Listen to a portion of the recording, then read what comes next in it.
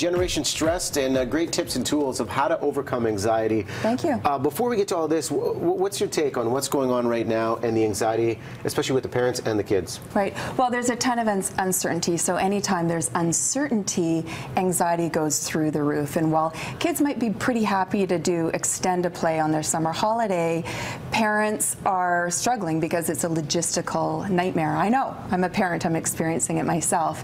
And um, children absorb their parents' stress. So it's really affecting everybody. But you've got some exercises for us when it comes to the kids of what they can do to kind of overcome the anxiety. So let's start with the balloons over here. You got it.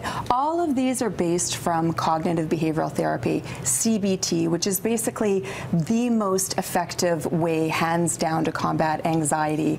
And the balloon thought stopper is, is a great start. It basically teaches kids how to combat their negative thoughts by harnessing them and challenging rather challenging them rather than accepting them as, as truth. So go ahead and, and uh, okay. So say I'm thinking about a thought. Choose your balloon. The idea of fitting in. This is a big thing with kids. I remember feeling that back in the day. So exactly. So be aware of the thought that goes with that, and blow that thought right into the balloon, allowing it to leave your mind so you don't have to carry it with you, and just externalize it right into the balloon. Okay. You gonna play along? Let's do it. Okay. Okay, here we go.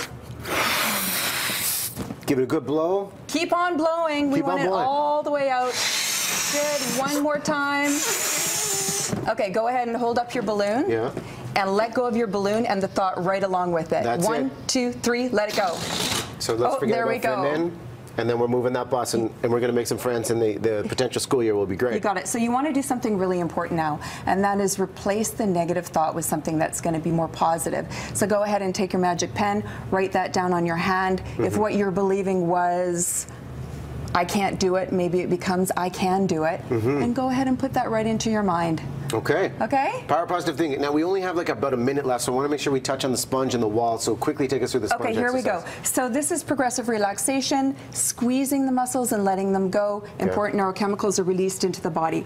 Go ahead and put the sponge into the water. Notice where you're feeling stress in your body. Mm -hmm Pull up the sponge, squeeze the sponge in your body, yeah. and let the stress go right with it. You know what this reminds me of? The stress balls that the adults have all the time. And, I uh, know, they work. Yeah, just focusing on something different. Okay, that's Good. a fun one. And then, you know, when you're talking about the power of positive thinking, you got the worry wall. We've got the worry wall. So we want to teach children how to externalize their worries. They're master worriers. So something as simple as uh, taking a notepad, writing the worry down, and putting it up on the worry wall can be really, really empowering. And then you want them to do something really important, and that is create the optimism wall so that they can shift their thinking towards something that's going to be a whole lot more supportive. This is just the beginning of uh, various tips and tools again in this book, Generation Stressed. Michele Kambolis, thanks so much for coming on and sharing some ideas with us, and hopefully we're going back to school soon. Uh, fingers crossed. Fingers crossed. We're following that story.